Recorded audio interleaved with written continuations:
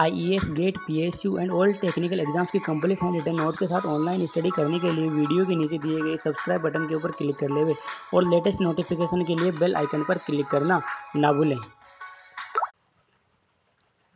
Environmental engineering ये भी IES GATE PSU के लिए बहुत ही इम्पोर्टेंट सब्जेक्ट है। ओके एनवायरमेंटल इंजीनियरिंग देखो आईईएस में इसमें से approx forty two forty five marks का क्वेश्चंस आते ही आते हैं। ओके okay, गेट की बात करें तो गेट में भी ten ten to twelve number के क्वेश्चंस इसमें आते ही आते हैं। ओके ऐसे ऐसे जयन में भी बहुत सारे क्वेश्चंस आते हैं या फिर स्टेट लेवल की कोई एग्ज़ाम्स दोगे आप जयन वगैरह की किसी की भी तो एनवायरमेंटल इंजीनियरिंग मतलब कुल मिलाकर के एनवायरमेंटल इंजीनियरिंग बहुत ही इंपॉर्टेंट सब्जेक्ट है। ओके इसमें बहुत ज़्यादा थ्योरी पार्ट भी है। ओके इसमें इतनी चीज़ें रटने की है समझने की चीज़ है, लेकिन साथ साथ आपको उन चीज़ों को ध्यान रखना पड़ेगा कि वाटर कंटेंट कितना है, ठीक है? वाटर डिमांड कितनी होनी चाहिए? पीने के लिए पानी में कौन कौन सी चीज़ें अवेलेबल होनी चाहिए? कोई चीज़, और इसमें बुरी बात क्या है कि जैसे इसमें कोई रेंज आ गई, जैसे फाइव टू टेन ओके तो आपकी ये रेंज फाइव से कम हो गई तो भी परेशानी है। टेन से ज़्यादा हो गई तो भी परेशानी है। मतलब उस रेंज के अंदर अंदर ही हर एक चीज़ की क्वांटिटी होनी चाहिए। अच्छी वाटर के लिए, या फिर आप वाटर को प्योरीफाई कर रहे हो, उसका ट्रीटमेंट कर रहे हो तो ऐसी चीज़ें याद करने की इसमें बहुत सी चीज़ें हैं। तो वीडियो देख देख करके तो सारी चीज़ें याद नहीं कर सकते। तो आपको ये नोट्स अगर रिक्वायरमेंट है तो व्हाट्सअप के नंबर मैंने डिस्क्रिप्शन में दे रखे हैं तो वहाँ से आप, चलो मैं यहाँ पर बता देता हूँ।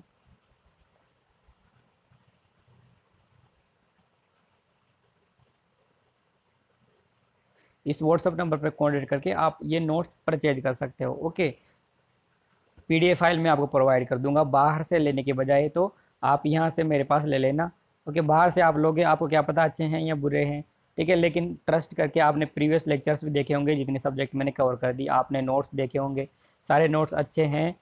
आप बाहर से परचेज करते हैं तो क्या, या तो आई मास्टर या मेडी जी लेकिन आईएस मास्टर में ही सारे सब्जेक्ट अच्छे नहीं होते हैं। कुछ सब्जेक्ट कहीं अच्छे होते हैं, कुछ सब्जेक्ट कहाँ अच्छे होते हैं। ओके। तो मेरे पास सारे अच्छे अच्छे आप कोई सा भी सब्जेक्ट ले सकते हो आईएएस के लिए गेट के लिए P S U S S C J के सिविल से रिलेटेड कुछ भी। ओके तो यहाँ से परचेज कर लेना। ठीक है, ये एक बेसिक है। इसमें हम इसको तीन पार्ट में कंप्लीट करेंगे। ठीक है, एनवायरमेंटल इंजीनियरिंग को तीन चैप्टर में इसको, ऐसे तो इसके अलग अलग हैं, लेकिन हम इसको तीन में कंप्लीट करेंगे। कौन कौन से? Raw water engineering waste water engineering and air and noise pollution ठीक है? कंप्लीट सिलेबस आप ये देख लो यहाँ पर।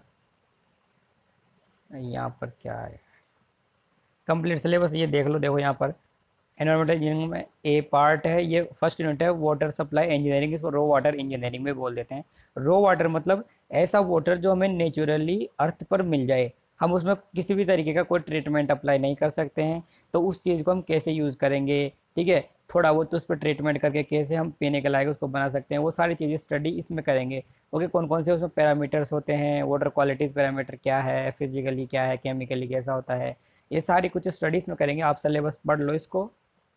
ओके, ये सिलेबस देख लो। अगर आप इस सिलेबस डाउनलोड भी कर सकते हो कहीं से, नहीं तो व्हाट्सअप नंबर पर कॉन्टैक्ट कर लेना, वहाँ से मैं इसको ऐसे ही दे दूँगा, देख लेना, okay?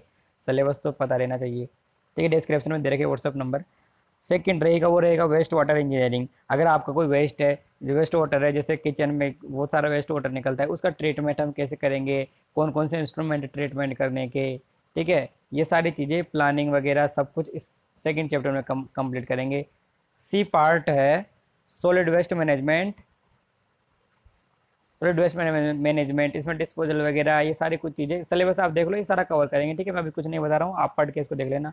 And D part and noise air pollution and ecology ये एक छोटा सा टॉपिक है, इसमें कंसेप्ट और जनरल मेथोडोलॉजी क्या क्या है, उन, उसकी चीज़ की स्टडी करेंगे, ठीक है? हम ए और बी पार्ट तो अलग अलग यूनिट्स में कवर करेंगे, अभी मैंने आपको बताया थोड़ी देर पहले। और जो ये सी एंड डी है, इसको हम एक साथ ही कंप्लीट करेंगे एयर नॉइज़ एंड पोल्यूशन करके। कंप्लीट को एक साथ ही हम कवर कर लेंगे ओके, ये तो हो गया बेसिक ठीक है? ये तो बेसिक है, जो मैंने सिलेबस आप देख लेना। ओके, देखो हम इसको तीन में ही कवर करेंगे। First unit second and third okay तो ऐसा नहीं सोचना कंप्लीट सिलेबस पढ़ेंगे ही। ओके, ये एक बेसिक हो गया कुछ डिटेल्स बताने के लिए। बाकी नेक्स्ट लेक्चर से हम unit number first raw water engineering start करेंगे। ओके, आप नोट्स तो परचेज कर ही सकते हो और कोई नई बात तो है नहीं। ओके, बाकी प्रीवियस जो लेक्चर्स चले रहे हैं, हमने हाईवे कंप्लीट कर लिया है। ओके, हाईवे कंप्लीट हो गया, सर्वे कंप्लीट हो गया, थर्ड नंबर, फिर उसके बाद में strength of material, solid mechanics complete हो गया, फोर्थ, थियरी ऑफ़ स्ट्रक्चर भी ऑलमोस्ट कंप्लीट ही होने वाला है, बस हो ही गया। ओके बाकी और भी कुछ कंटिन्यूटी में चल रहे हैं एनवायरमेंटल इंजीनियरिंग में भी स्टार्ट करेंगे बीच में लेक्चर्स डालेंगे बहुत से स्टूडेंट की रिक्वायरमेंट थी इसलिए वजह से। ठीक है? नेक्स्ट कल से। ओके मैं अब नेक्स्ट लेक्चर ना बोल करके कल से बोलूँगा। कल से मतलब नेक्स्ट लेक्चर तो कल से स्टार्ट करेंगे unit number first raw water engineering wish you very all the best and आप पहले खुद से ओके okay, वापस से बोल रहा हूँ ये ऐसे सब्जेक्ट है पहले खुद से पढ़ लेना रट लेना पहले उसके बाद में अगर कोई चीज़ समझोगे हर एक सब्जेक्ट में तो इतनी शानदार समझ आएगी, आप सोच भी नहीं सकते। अगर आप सीधा ही समझने की कोशिश करोगे तो फिर कुछ नहीं है, बैठे रह जाओगे आई सिलेक्शन करना है तो पहले नोट्स को लेकर के पढ़ो खुद से। क्योंकि जितना हो सके समझ नहीं आए तो भी एक बार हाथ के नीचे से उनको निकालो, पढ़ो एंड उसके बाद में समझोगे ना तो फिर बात ये लग रहती है। ओके बाकी आगे आपकी मर्ज़ी, आप भी इंजीनियर हो, समझदार हो, समझते हो। Okay all the best